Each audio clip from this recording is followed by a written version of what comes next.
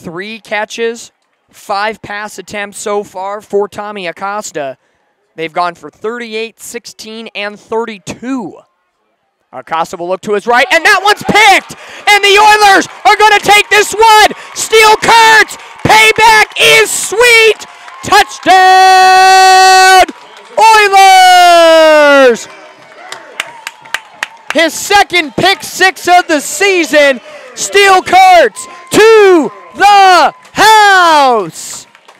Two wide receiver set on the near side for Capo Valley. Talon Spencer and Cyree Jefferson. High snap into the end zone. Acosta has it. He falls on it.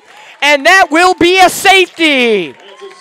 There on the tackle was number 92, Brody Rutherford Livingston. Was in the end zone to tap Acosta to make that play.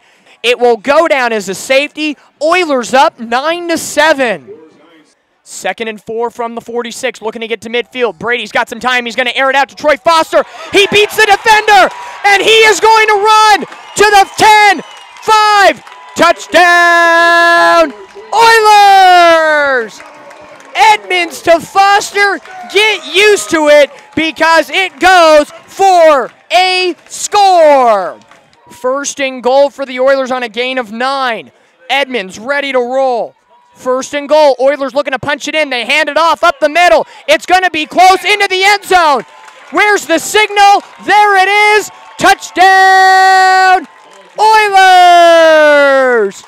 A huge run from none other than number 20, Nathan Sammartano gets the score. Snap is fumbled, and the Oilers have a defender on it. Where's the signal? And it is the Oilers! Handoff to number five, Riley Walker. Nowhere to be found. And it's number 15, Logan Gray, and Owen Bone at the scene of the crime. Logan Gray has the ball in his hands. Turnover, Oilers football. Can they go on into the end zone with the score? Edmunds inside with the slant route. It is caught. Touchdown, Oilers! It is completed to number 12, Steel Kurtz, his second touchdown of the night, first offensively, and the Oilers are back on the board. It's 28 17. Oilers looking to keep their five point lead. Fourth down play. Acosta pressure. He's got a hole. He's got a pass. He throws it intended for Hunter. He makes a grab, but it's popped and incomplete. Charlie Stubin pops it out. Flags a fly, but it's incomplete. Turnover on downs, and the Oilers are going to hang on to this one.